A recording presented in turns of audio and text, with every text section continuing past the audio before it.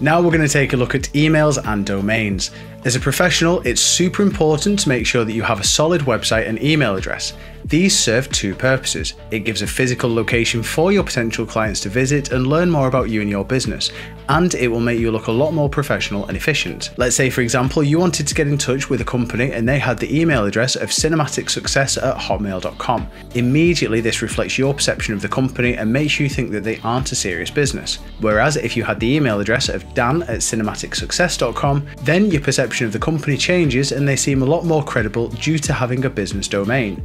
You will then also have the ability to customize what your email address will be. For example, dan at cinematicsuccess.com or support at cinematicsuccess.com. The same goes with domains. If you had wixsite.com forward slash cinematic success or something similar, it doesn't look great from a client's point of view. To buy a domain, I would highly recommend going to GoDaddy. This website allows you to grab all sorts of domains if you wanted to and offer a great first year discount. For example, I got cinematicsuccess.com for 99p. So first head over to godaddy.com type in the domain you want to search for, and then click on search. In an ideal world, this would be your business name. I would always recommend looking for a .com and a .co.uk as these are the most widely used URLs. Having a .net or a .org may make some potential clients a bit skeptical as it may look like you aren't a professional. If your URL is available, fantastic. If not, then there is no harm in changing the name of your website slightly. For example, it could be cinematicsuccesses.com. Now, I wouldn't recommend buying a website off somebody who may already own it as this can be a really expensive and time consuming process. Next, you can buy privacy and custom domains, but I would say hold off for this for now as there is a more efficient way of doing it. Once you have everything you need, click checkout and add your details.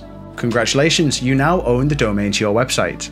Now we need to set up a custom email. So from what I've used, G Suite has been the best and most cost efficient way of getting a custom email. So what you'll need to do is head to workspace.google.com and click get started. Next there will be some business information that you will need to fill in. You'll have a page which asks if you have a domain that you want to use, so click yes I have a domain, enter the domain, create some login details, select your plan, enter your payment details and follow until the payment has been made. You now need to create some custom email addresses, so head to the Google Admin Console and click on Users. From here click on Add New User.